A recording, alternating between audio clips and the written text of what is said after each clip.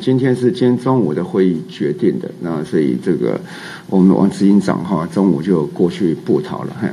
那刚刚部长有讲出来这个北部医院的名称呢？你为何这次会选择公布这个医院的名称？谢谢。啊，这有时候很难免的，因为因为这个名名字就一个礼拜都在脑海中盘旋嘛，哈。那有没有设立指挥官的制度？那可不可以分享说这个指挥官是哪一位专家？谢谢。嗯，我们现在就先派这个哈，我们的医福会的，叫我们的应变组的副组长哈，王必胜医师哈。不过我们现在今天是今天中午的会议决定的，那所以这个我们王执行长哈中午就过去布讨了哈。那先看他把这个整个组织体系架构把它架构起来。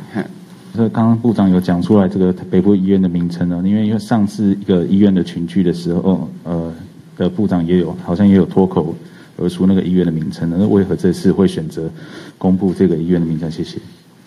我 没有选择公布，是你们刚才跟我讲说我已经讲出来了哈，而且有时候很难免的，因为因为这个名名字就一个礼拜都在脑海中盘旋嘛哈，啊，就很难这个哈，那有时候也很难，我也哈，这整个情况都是要不断的在天天都在接触，然后看这些案例时间序、个案序、病房序。